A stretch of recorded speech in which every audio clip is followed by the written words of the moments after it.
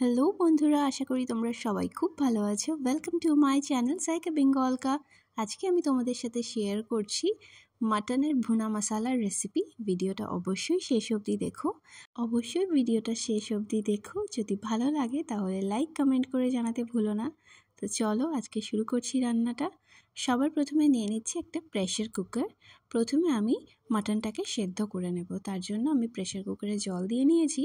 আর তাতে দিয়ে নেব ধুয়ে রাখা মাটন। তাতে অল্প করে লবণ, হলুদ দিয়ে দু থেকে তিনটে সিটি হওয়া অবধি ওয়েট করে নেব। মাটনের ভুনা মশালা বানানোর অনেক পদ্ধতি আছে। তো আজকে আমি সব থেকে সহজভাবে যেটা বানানো যায়, সেটাই তোমাদের সাথে শেয়ার করছি। এই দেখো, মাটন আমাদের সেদ্ধ হয়ে গিয়েছে। এখন আমি মাটনটাকে তুলে অন্য একটা বাটির মধ্যে রেখে দিয়েছি। মোটামুটি আন্দাজ মতন এইটি পারসেন্ট মতন কুক করে নিতে হবে মাটনটাকে। তারপরে এখানে আমি বানিয়ে নেব ভাজা মশলা, তার জন্য লেগেছে সাদা জিরে, গোলমরিচ আর এলাচ। এখানে দিয়ে একবার কড়াইতে ভালো করে নাড়াচাড়া করে নিয়েছি এক দু মিনিটের জন্য।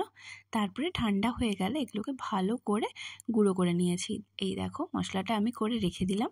তারপরে এখানে নিয়েছি লোহার কড়াই, তোমরা যে কোনো কড়াই ইউজ করতে পারো। সর্ষের তেল দিয়ে নিয়েছি, তেল দিয়ে ভালো করে গরম হয়ে গেলে এখানে কুচনো পেঁয়াজ দিয়ে ভাজা ভাজা করে নিচ্ছি। দেখো পেঁয়াজটা হালকা হালকা কালার চেঞ্জ হয়ে গেলে এর মধ্যে আমি দিয়ে নেব কাঁচা লঙ্কা, যেটা খুব ইম্পর্ট্যান্ট কেন ইম্পর্ট্যান্ট কারণ আমি এই পেঁয়াজ আর কাঁচা লঙ্কাটাকে এরকমভাবে হালকা ব্রাউন অবধি ভেজে নিয়ে এগুলোকে উঠিয়ে রেখে দেব আর তারপরে একটা মিক্সিতে সুন্দর করে পেস্ট তৈরি করে রেখে দেব। আর সেই কড়াইতেই দিয়ে নেব ঘি। যতটা তেল আছে এখন কড়াইতে, সেই একই পরিমাণের মতন আমি ঘি নিয়ে নিয়েছি বা তোমরা চাইলে শুধু ঘি দিয়েও করতে পারো। আর সঙ্গে দিয়ে নিচ্ছি দু একটা তেজপাতা।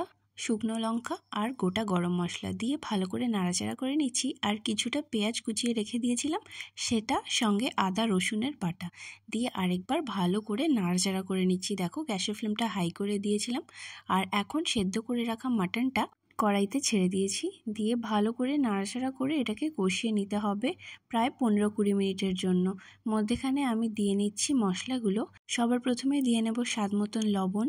সঙ্গে ভেজে বেটে রাখা মশলাটা, পরিমাণ মতন হলুদ, লাল লঙ্কার গুঁড়ো, চাইলে তোমরা আরও এক্সট্রা মশলা দিতে পারো। কিন্তু আমি এখানে আর কিছু ব্যবহার করছি না। এবার ভালো করে মাংসটাকে কষিয়ে নিতে হবে, একদম তেল ছেড়ে আসা অবধি। দেখবে কালারটা একদম চেঞ্জ হয়ে যাবে যখন।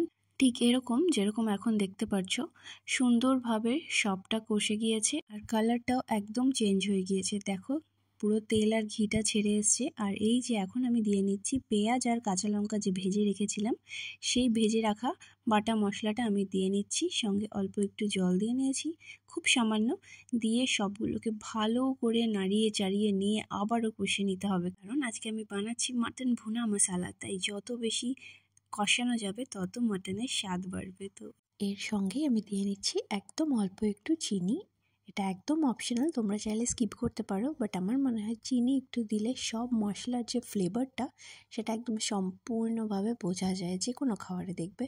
অ্যান্ড ফাইনালি মাটনটা কষে গিয়েছিল অনেকক্ষণ আগেই, তাও আমি একবার ভালো করে নাড়াচাড়া করে নিলাম। আর এখানে দিয়ে নিচ্ছি সেদ্ধ করে রাখা যে মাটনের স্টকটা ছিল সেটা, দিয়ে কন্টিনিউয়াসলি নাড়াতে থাকলে প্রায় দশ থেকে বারো মিনিটের জন্য এরকম একটা টেক্সচার চলে আসবে। এরকম হয়ে গেলেই তোমরা গ্যাসের ফ্লেমটা অফ করে দেবে আর সুন্দরভাবে একটা সার্ভিং বলে সার্ভ করে নেবে। গরম গরম ভাত বা পোলাওয়ের সাথে খেতে অসাধারণ লাগে। আর সঙ্গে উপর থেকে আমি দিয়ে নিচ্ছি অল্প একটু ধনে পাতা আর সঙ্গে কুচনো আদা দিয়ে সার্ভ করে দেবে। ভালো লাগলে অবশ্যই সাবস্ক্রাইব করে দিও। টাটা বা বাই